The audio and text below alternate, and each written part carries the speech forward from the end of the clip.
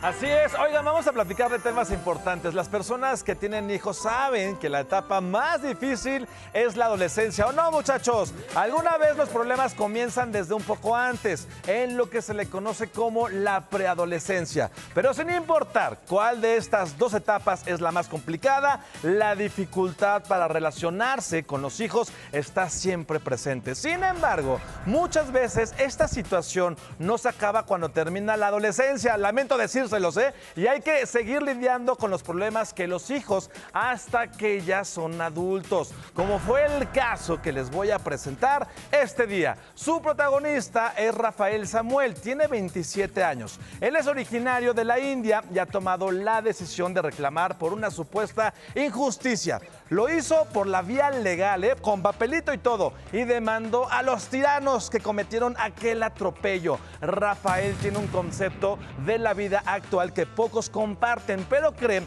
que su forma de pensar pues es la correcta y le da el derecho de exigir que se castigue a sus agresores. Que un hombre de 27 años tome acciones de este tipo pues no es nada raro. Lo que sí es increíble es la razón por la cual demanda y a quiénes demanda. Muchachos, ¿quieren saber quiénes son los agresores, estos tiranos, estas malas personas y cuáles fueron sus motivos para demandarlos? ¿Sí quieren saber, Mimi?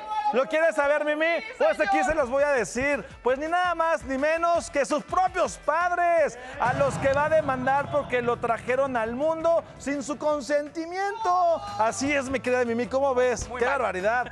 Tal como lo están escuchando, este hombre considera una injusticia que lo hayan traído a este mundo, pues sin preguntarle, sin consultarle al muchachito. Al parecer la situación no está muy fácil para este sujeto porque debe demostrar que sus padres no solicitaron su consentimiento antes de alumbrarle, lo que parece, pues sí, un poco, solo un poquito difícil. Así que mientras un juez resuelve su situación, Rafael Samuel tendrá que seguir viviendo una vida que no pidió y pasará la historia como el niño problema, el niño de 27 años. Esto fue 9